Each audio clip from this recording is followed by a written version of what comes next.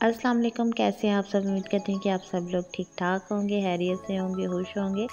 Welcome back to my channel welcome back to my mini vlog और आज का vlog बस ऐसे छोटे मोटे से आ रहे हैं क्योंकि इतनी खास कोई रूटीन नहीं है और दिल भी नहीं करता कि क्या बंदा वो एक जैसी रूटीन ही दिखाता रहे। तो भी बस बना के दे रही थी बच्चों को नाश्ता। अब्दुल्ला को तो वैसे ही छुट्टी है और उसका की भी आज जो है ना लास्ट छुट्टी थी तो बच्चे सो के लेट ही उठे हैं। अभी तकरीबन एक बजे का टाइम हो रहा था। तो हेल्पर भी नहीं आई है क्लीनिंग वगैरह भी मुझे खुद ही करनी थी। तो जितना मैं बना सकी ब्लॉग वो मैंने बनाया। तो जिस किसी ने अभी तक मेरे चैनल को सब्सक्राइब नहीं किया हुआ चैनल को भी सब्सक्राइब कर लें बेल आइकन को प्रेस करें। और अगर वीडियो अच्छी लगती है तो लाइक शेयर और कमेंट भी लाजमी किया करें। जैसे जैसे ना टाइम ज़्यादा हो रहा होता है, मुझे वो कहते हैं ना, मुझे काली पड़ना शुरू हो जाती है कि जल्दी जल्दी बच्चे उठें, मैं उनको नाश्ता वगैरह बना के दूँ, दूसरे काम करूँ। ताकि फिर जो है ना मैं शाम के लिए कोई कुकिंग वगैरह कर सकूँ। लेकिन बच्चे आज उठे ही बड़ी लेट और क्लीनिंग करते करते मुझे तकरीबन असर का टाइम हो गया था आज।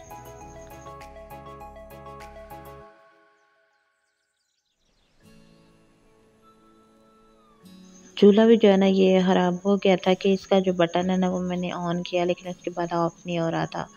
कि दोनों चूल्हों के साथ यही सेम सिचुएशन थी। दरमियान वाला ठीक था, लेकिन जो दोनों साइड वाले हैं ना, वो दोनों ही जाम हो गए थे कि अपनी जगह से हिल भी नहीं रहे थे। एक को तो मैंने वैसे ही वो चेक कर करके तो तोड़ दिया था, वो हिल ही नहीं रहा था।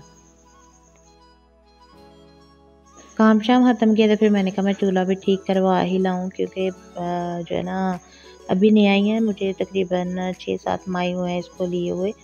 तो ये सही हो जाना था तो फिर मैं अभी जा रही थी चूल्हा ठीक करवाने। और रास्ते में ये मैंने क्लिप बनाई कि बड़े प्यारे जो है ना गोल्डन गोल्डन सी वो खेत लग रहे थे गंदम के, कि हर तरफ़, जिस तरफ़ भी देखो ना, इसी तरह की गोल्डन गोल्डन ही गंदम हो गई हुई है। एक शॉप पे गए हम चूल्हा सही करवाने तो उसने ना जितने चूल्हे की कीमत थी ना, उससे आधे पैसे मांग लिए। तो फिर मैंने कहा, इसको नहीं सही करवाती हूँ, इससे बेहतर है कि मैं नया ही ले लूँ।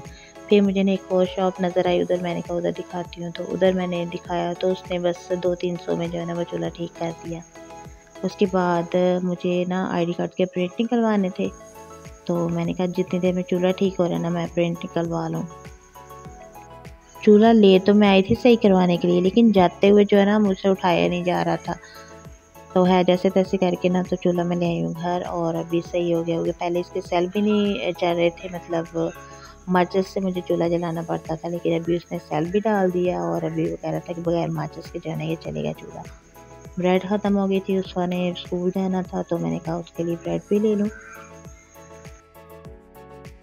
घर में आज मैंने कुछ बनाया भी नहीं था, फिर आते हुए जो है ना, मैं बच्चों के लिए ले आई थी ये वाले बर्गर अंडे वाले बर्गर तो उसको अंडा नहीं खाती है तो उसके लिए जो है ना मैं बगैर अंडे के जो है ना लेके आई थी। ना वो अंडा खाती है, ना वो मायोनीज खाती है।